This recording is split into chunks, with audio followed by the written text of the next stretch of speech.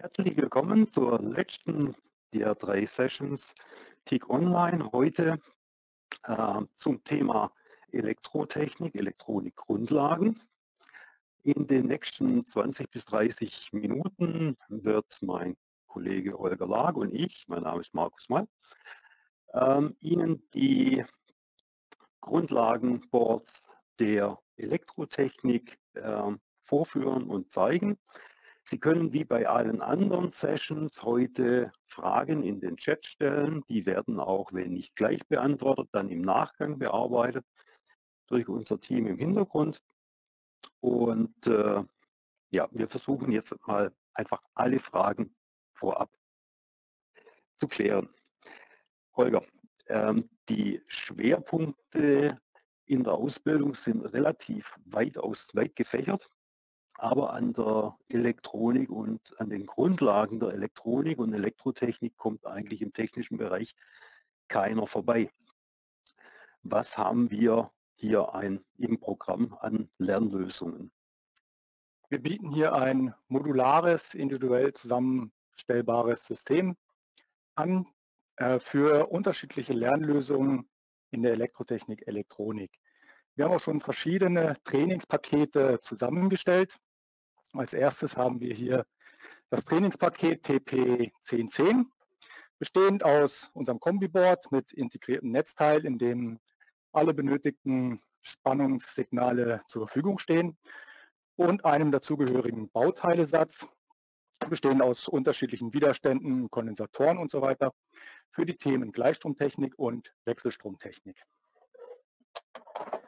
Als nächstes haben wir hier das Trainingspaket TP1011, bestehend aus einem Universalsteckfeld, damit wir auch eine höhere Packungsdichte bekommen, und einem externen Netzteil, identisch zu dem Netzteil, wie in dem Kombiboard drin ist. Und einem Bauteilesatz, der zum vorigen Bauteilesatz ergänzt ist durch Transistoren, Dioden, Thyristoren, Triax und so weiter. Mit diesem Trainingspaket vermitteln wir die Themen Gleichstromtechnik, Wechselstromtechnik, Halbleiterbauelemente und Grundschaltung der Elektronik.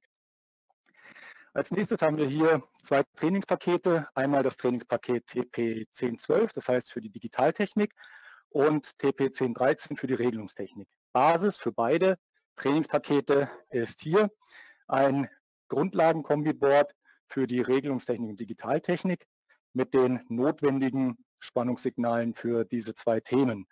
Einfach auch aus Budgetgründen, dass wir hier günstiger fahren können.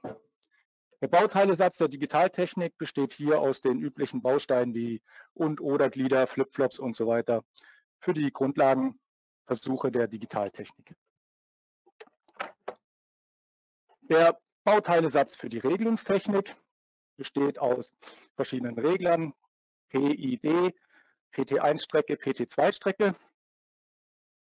Diese Bauteile von der Digitaltechnik und der Regelungstechnik können wir auch auf diesem Universalsteckfeld nutzen. Auch hier im Netzteil, im separaten Netzteil sind alle Spannungsversorgungen enthalten, die wir für die Digital- und Regelungstechnik brauchen.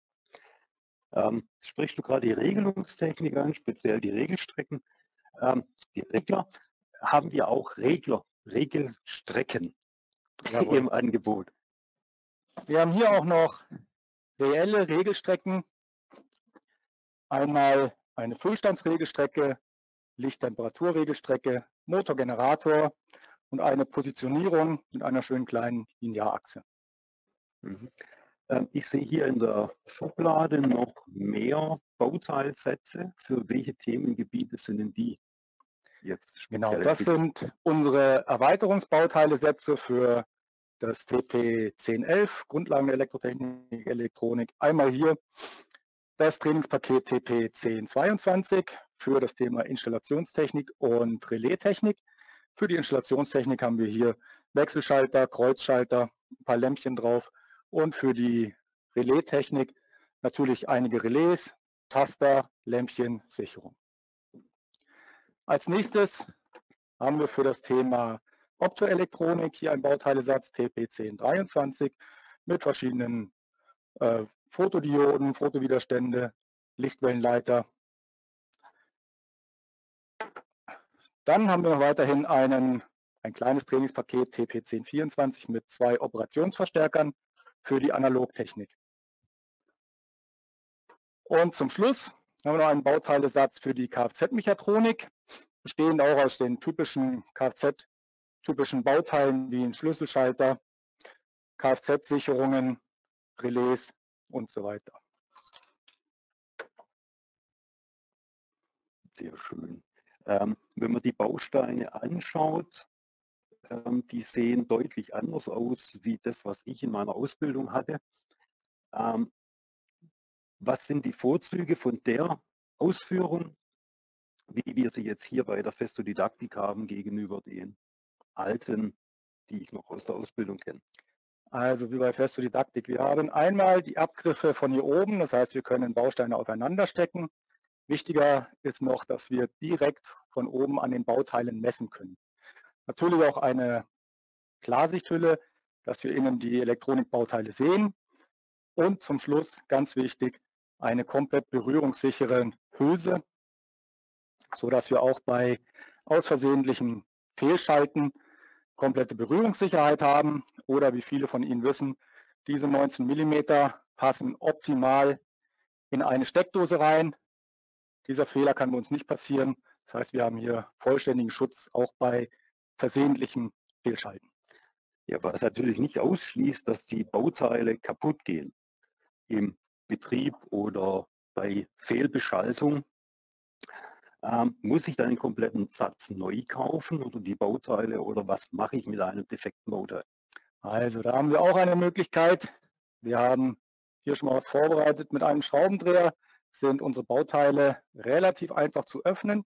Wir können die auseinanderbauen, das heißt das defekte Elektronikbauteil auslöten, ein neues wieder einlöten, das Bauteil wieder zusammensetzen und weiterverwenden.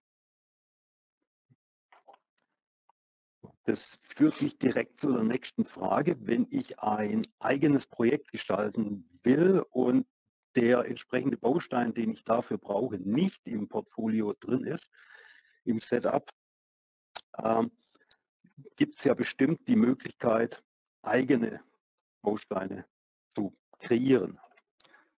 Wir haben zwei Lehrgehäuse, die nicht bedruckt sind, aber bestückt werden können, individuell mit Ihren Elektronikbauteilen, die Sie für Ihre eigenen Projekte brauchen. Einmal einen zweipoligen und einmal einen dreipoligen Bauteilesatz. Somit steht dir jeder Wunsch offen, eigene Projekte zu realisieren. Ähm, apropos Projekte und äh, eigene Ideen, äh, es gibt ja bestimmt auch komplette Lernlösungen, Aufgabensätze und äh, didaktische Konzepte, die es jetzt hier von der Didaktik schon vorgefertigt gibt, um die Kurse durchzuführen.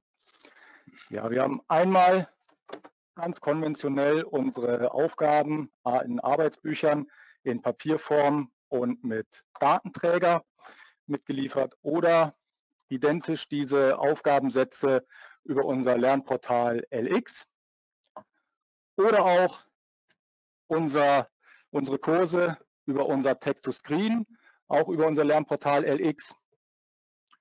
Und natürlich sind alle diese Elektronikbauteile in FluidSim Elektrotechnik in der Bauteilebibliothek enthalten und auch die Aufgaben schon als Lösung hinterlegt. Somit können die Lernenden alle Aufgaben auch in FluidSim aufbauen, gestalten und natürlich auch simulieren. In der Kfz-Technik für den Bauteilesatz TP1025 sind wir mit den Aufgabensätzen oder mit den Lerninhalten einen anderen Weg gegangen. Da bilden wir die Bauteile oder die, die Lerninhalte über FluidSim ab. In FluidSim ist umfangreiches Lehrmaterial das Lehrmaterial wurde um Lernszenarien der Kraftfahrzeugtechnik aus dem Lernfeld 3 Funktionsstörungen identifizieren und beseitigen erweitert, die direkt im Unterricht verwendet werden können. Jedes Lernszenario ist handlungsorientiert aufgebaut. Zunächst erfolgt eine praxisnahe Problembeschreibung und anschließend auf das Problem zugeschnittene Theorieteil sowie Übungen. Anschließend wird das Erlernte bei einer Diagnose, einem fehlerhaften Schaltplan angewendet und der Fehler unter anderem mit Hilfe der virtuellen Messgeräte analysiert und beseitigt. Die Aufgabenstellung erfolgt also über FluidSim. Parallel können diese Schaltungen natürlich auch in FluidSim simuliert werden. Ja, jetzt stellt sich für viele unserer Kunden die Frage, ähm, wie das mit den WBTs aussieht. Also wir hatten ja früher diese Web-Based Trainings. Ähm, wie gehen wir mit denen um? Ja, die meisten, fast alle WBTs wurden bei uns schon umgewandelt auf HTML und stehen auf unserem Lernportal LX zur Verfügung. Weitere WBTs folgen kontinuierlich. Ähm, jetzt hast du gerade erwähnt, dass in der Kfz-Technik wie in FluidSim Fehler ähm, finden können, Fehler einbauen, Fehler suchen. Jetzt heißt es im Lernfeld 3 Funktionsstörungen identifizieren und beseitigen. Ähm, geht es jetzt nur virtuell oder können wir das in der Hardware auch? Und wenn ja, wie? Nein, auch bei den Bauteilen der Kfz-Technik, der Kfz-Mechatronik, haben wir in den Bauteilen Fehlerschalter eingebaut, die von außen auch mit einem Schraubendreher ähm, geschaltet werden können und damit dementsprechend aktiviert werden können. Somit können wir in Schaltungen, Hardware-Schaltungen Fehler einbauen, die dann messtechnisch gefunden werden müssen. Mhm. Jetzt haben wir eine Frage aus dem Chat. Die Hardware ist relativ umfangreich, viele Teile.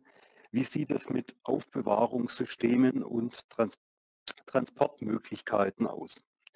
Wäre ich auch noch drauf gekommen, haben wir hier einmal unsere Möbelsysteme, Systeme mit verschiedenen Schränken, die wahrscheinlich auch bekannt sind. Hier zum Beispiel der Schrank für die A4-Systeme, die verstaut werden können.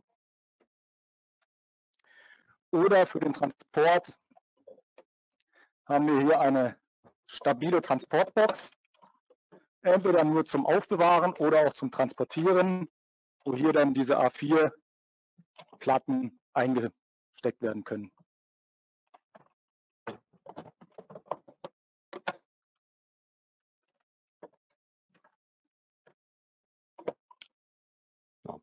Ähm, Dankeschön.